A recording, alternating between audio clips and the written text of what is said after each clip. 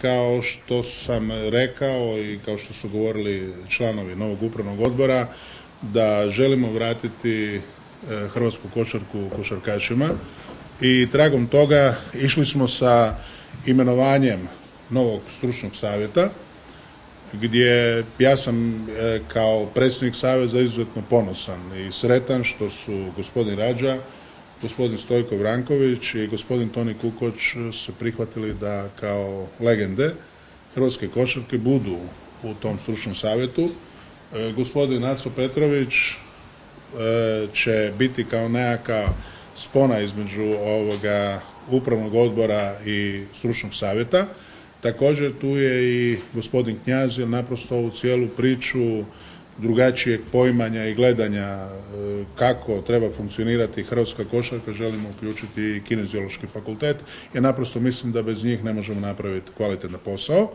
I da da kažem drugi dio e, našeg stručnog savjeta su treneri četiri najbolje plasirane ekipe iz A1 muške košarke. E, zašto to? A zašto ne neki drugi iz jednostavnog razloga od 2017. Hrvatska košarka će igrati kvalifikacije za, i za svjetsko i za europsko prvenstvo e, u 11. i u drugom mjesecu. Dakle, neće nam biti dostupni igrači iz NBA lige i logična je stvar da u stručnom savjetu onda budu ljudi koji su najbolje upućeni u stanje hrvatske košarke, a ako to nisu treneri četiri prvoplasirane ekipe u hrvatskoj košarci, ovoga, onda ne znam ko bi to bio. Pozdrav svima, više manje svih znam ovdje. Ovaj, ja neću previše duže, reći vam samo, samo jednu stvar. E, u, moje ime, a vjerujem, vjerujem u ime, u ime ovaj, većine ovdje. Nama ne treba ni novaca ni slave. Ja sam radi košarke i bit ću tu dokle god se bude radilo po nekim principima košarkašim, dokle god košarka bude u interesu svih onog trenutka ako se pojavi ako se pojavi ikakav privatni, osobni, bilo kakav interes, ja ću biti prvi koji će otići odavde, a me pljunite svi u faci, ako, ako to ne napravim. I ja zajedno s tobom. Eto. Znači, samo me košarka zanima i mi nismo ovdje ništa izmislili, niti ćemo izmisliti ništa novoga. Ja se samo trebam podsjetiti onoga šta sam ja radio, kako sam ja postao igrač, jer po meni je to jedini pravi način. A ovo sve drugo, drugo očito, očito nije valjalo. A gledajte, treba promijeniti kompletan sustav od početka. Ne može se dogoditi, ne može se dogoditi da se ne zna piramida, ne može se dogoditi. Masu toga očito nije valjalo, masu toga je očito bilo po nekakvim e, e, interesnim sferama e, da se zadovoljavaju neki koji su dizali ruke, ali ne bi trošio vrijeme sada na nešto što je bilo jer je to bez veze gubljenja vremena. Treba se vratiti nazad, treba raditi, treba nadgledati, treba, treba biti prisutan, treba dicu učiti košarku. Dica ne znaju danas neke osnovne stvari. Ja gledam utakmice, gledam, gledam dole u Splitu, gledam ove goste koji dođu, pa vidiš da im fali, fali, im, e, fali im osnovna škola. Ne znaju čitati rupe, ne znaju, ne znaju pravila kontranapada, ne znaju, ne znaju masu toga i sad to treba, treba, treba raditi, mislim, nema, tu neke, neke velike nauke. Definitivno ima, ima potencijala, međutim, e, svi zajedno moramo biti jako strpljivi i ne očekiva da će se nešto dogoditi odmah, nego će trebati malo vremena za sve to. E, ja svima igračima kojima, s kojima imam priliku pričati, ja im svima kažem da je broj ponavljanja majka uspjeha. Prema tome, određen broj ponavljanja zahtijeva određeno vrijeme i morate svi zajedno biti e, skupa s nama jako strpljivi mali Dar, da, Dario Šarić koliko god je ekstra talent, ima nekih svojih e, određenih mana, a ja bi to volio s njime popričat prije nego, ovaj, prije nego s, bilo kim drugim. Mislim, samo sa njega napomeni, a kao jedno najperspektivnije ime, recimo, e, kod nas trenutno.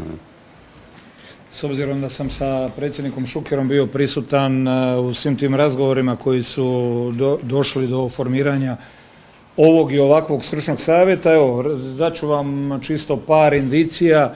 kojim putem će se ići od onih nižih stvari. Znači, instruktori trebaju premrežiti čitavu Hrvatsku po naputku stručnog savjeta, ne smije niti jedno dijete biti neprocijenjeno, moramo otkloniti one koji su akceleranti, koji ne zadovoljavaju u tom kontekstu, moramo dobiti pravu predođbu, sve djece koja igraju u košarce, kad govorimo, govorimo o kadetima, juniorima i koji se kasnije preljevaju seniore, svaki od ovih e, ljudi ovdje naravno ne možemo to tražiti od trenera hrvatskih klubova u zimskom periodu kada budu kampovi, ali za pretpostaviti da će i Dino i Stojko i svi mi koji imamo puno više vremena završiti na tim kampovima gdje će biti po svakoj selekciji obuhvaćeno 36, znači o kadetima, juniorima 36 najboljih klinaca u Hrvatskoj, tako da i mi zajedno sa trenerima možemo dati nekakvu prosudbu ko, ko u budućnosti se može vidjeti u seniorskoj košarci. Ono što je možda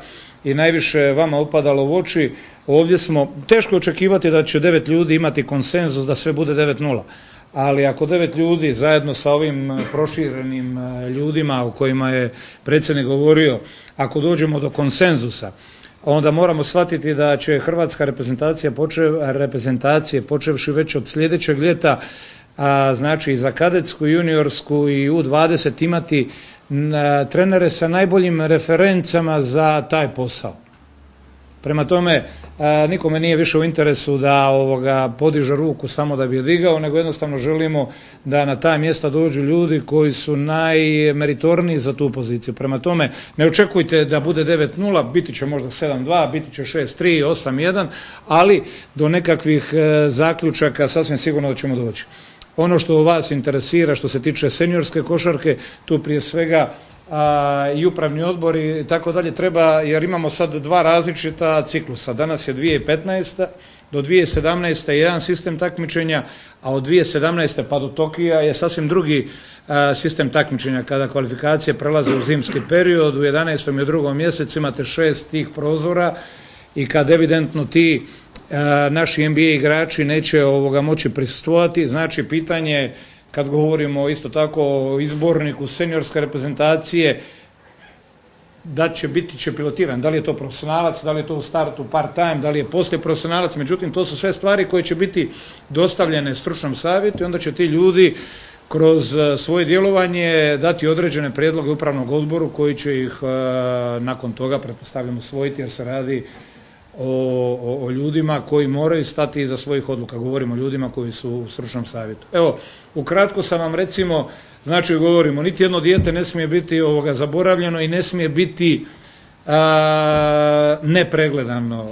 najbolji ljudi na, na, na tim selekcijama koje svake godine imamo po tri, četiri ili koliko već akcija i naravno pilotiranje što se tiče izbora, ono što vas kao nekakav vrh sante leda najviše interesira, to je izbornik e, seniorske reprezentacije. To su sve stvari, a priznaćete to nije malo, koje čekaju ovaj stručni savjet i e, znamo da je puno teških odluka pred nama, ali mislim da i sa svojim iskustvom e, možemo stati i možemo upravnom odboru predložiti dobre stvari. Evo ja sam samo malo pošto sam bio prisutan svim tim sastancima, sublimirao sve što se u tim, na tim sastancima ovoga događalo? Pa evo, Dino i Aco su dosta toga rekli. Ja mogu samo reći da mi je e, drago da sam tu da, da konačno pokušamo, pokušamo napraviti e, nešto u interesu košarke. Situacija je takva kakva je, da li može biti gora, ja mislim da ne može, ali krećemo od nule, imamo Imamo e, četiri godine ispred nas. Ako izdržimo, ako budemo svi skupa, nadam se da hoćemo, jer mi smo isključivo došli tu radi košarke. Meni je taj sport osobno dao sve u životu što sam dobio. Mislim da sam u jednu ruku i dužan. E, sprem košarke, sprem hrvatske reprezentacije. E, posla će biti puno, neće biti lako. Šta je sam Dino rekao, hoće li biti grešaka? Sigurno da hoće ali te greške sigurno neće biti namjerne i neće biti od interesa i ne bi samo tio da se od nas očekuje da ćemo u 24 sata ili 48 sati napraviti nešto, to sigurno nećemo. Postoji nešto što se zove olimpijski ciklus, on traje četiri godine i prema tome mislim da je najbitnije da imamo volje, znanja imamo, iskustva imamo, tako da mislim da, da možemo napraviti dobar posao. Sve su lige bitne. Ja samo hoću iz, iz, iz A1 lige, iz Euro lige, ne znam, bilo koje lige, iz NBA lige, da se odaberu pravi ljudi za, prave, za prava mjesta. To je ključ. Ako tu mi, ako mi tu pogriješimo, onda te greške će ispravljati stručni savjet, novinari i sve. Mislim da je to ključ. I tu je naša obaveza da nađemo prave ljude. Ja vam još jedan put govorim, s obzirom da sam ovdje 27-8 godina, mislim da ma, mislim da nema koga ne poznajem. I znam, znam da neće biti lak to zadatak. Eto. A mislim da je to prvi naš zadatak. A onda hoće oni raditi pick and roll i ovo, to će raditi ti ljudi koji mi odaberemo. Budemo li se mi time, stručni savjet se neće zamarati, jel ovaj radi pivot ili ne radi pivot. Nego to će, to će raditi čovjek za koga smo mi odabrali. A mi ćemo se, ba, stručni savjet će se baviti nekim drugim stvarima. Mislim da, tak, da je to vrlo jednostavan i jedini ispravan način. Eto, da ja, ja sam malo previše možda govorio. Eto, ja, ja, ja sam završio. E, Dakle, naš cilj i moto je vratiti košarku košarkašima. Na kraju krajeva niko od nas ovdje ne radi niti za lipu naknade bilo kakve. Svi radimo bez naknade. Dakle, motiv nam je da ja u ovom svom dijelu, dakle, e, financijskom i ovome, dečki na svom ovom stručnom dijelu, svako će dati svoj maksimum i napraviti jednostavno sustav koji će funkcionirati. A Gledajte, nemojmo zaboraviti da u ovom trenutku je jedan od ključnih problema i financije s kojima Savez raspolaže. Vama je vrlo teško naći sponzora za, kad smo imali takav sportski rezultat kakav smo imali.